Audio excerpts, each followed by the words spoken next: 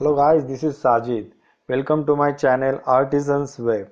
In today's tutorial, we are going to see how to use Laravel commands in Sublime Text. By default, we need to run our Laravel commands through command prompt. But Sublime Text provided one package by using which you can run your commands directly through Sublime Text. You don't need to use your command prompt.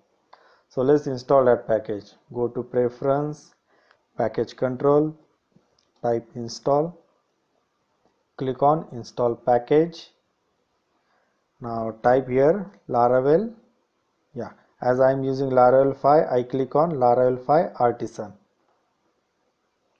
It's installing package package successfully installed. Now go to tools and click here laravel 5 now here are the here are the list of all possible commands of Laravel. Now let's run some commands. For example, I run make controller command. I create one dummy controller. Test product. I click on sorry test controller. Enter.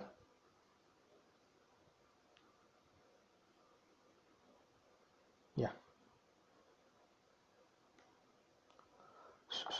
it's taking some time. Yeah controller created successfully. Here you can see under controller test controller dot php let's run some another command like make migration. Make migration. Create products table. Enter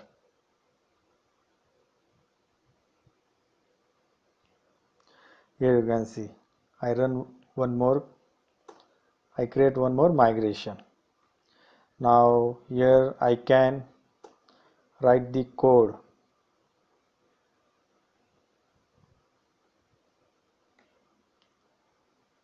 I copy this table paste it.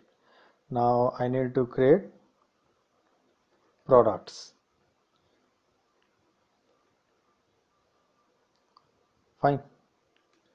Now let's run migration command. By default my database has uh, no single table exists right now because I did not run migration yet. Now I am running it from sublime. Go to tools laravel 5 and migrate. Migration table created successfully. Now I click on here we go. We get the all tables. That means our migration command run successfully.